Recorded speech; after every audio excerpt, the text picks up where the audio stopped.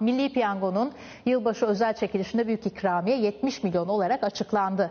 Rakamı duyanlar şimdiden hayallere daldı. Peki talih kuşunun konacağı kişi 70 milyonla neler yapabilir, neler alabilir? İşte 1 Ocak sabahına milyoner olarak uyanacak o talihliyi bekleyen alternatifler.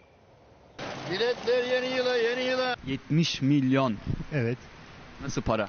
İyi para. Tam yarım çeyrek sürümletler yılbaşı. Alıyor musunuz bilet? Yok almam. Hiç almadınız. Hiç almadım. Bu yılbaşı alın bir tane. İlk olsun belki size çıkar. Yok çıkmadı. Aynı bilet aynı şans beyler. Aynı bilet aynı şans. Bu yılbaşı size çıksın mı? İyi olur. Yok demezsiniz yani. Yani. Kısmetse buradan da çıkar. 70 milyon desem. Şansıma güvenmiyorum. Çok teşekkür Efendim 70 milyon.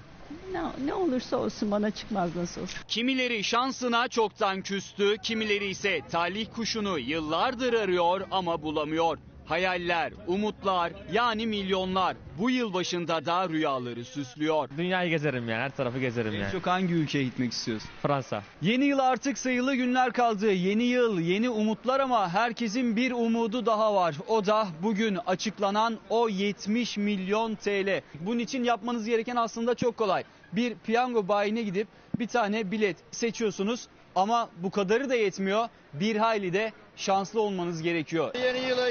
Duydunuz mu rakamı? Yok duymadım efendim. Ben söyleyeyim size. Söyleyin. 70 milyon. Sabah bir kalktınız 70 milyonunuz var. 70 milyonumuz var. Çok güzel iyi bir şey abi.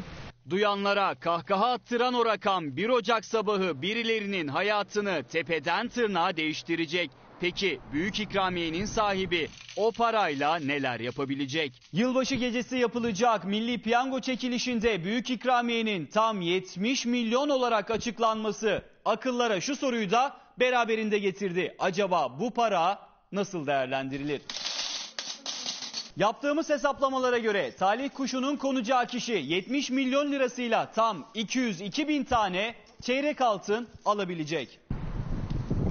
Şayet bu 70 milyon lirayla gayrimenkul yatırımı yapılmak istenirse tamamı lüks semtlerden olmak üzere tam 140 tane ev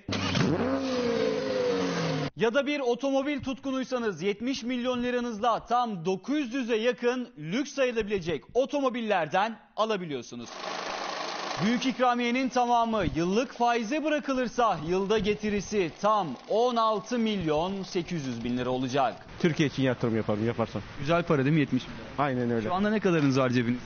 Vallahi şu anda 50 TL'm var.